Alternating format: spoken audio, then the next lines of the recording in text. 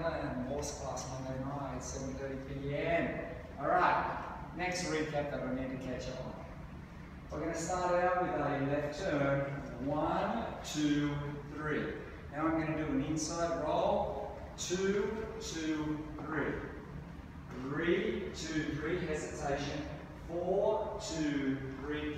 Five, two, three. Six, two, three. Five steps back. Step together. One, two, three. Two, two, three to finish it off.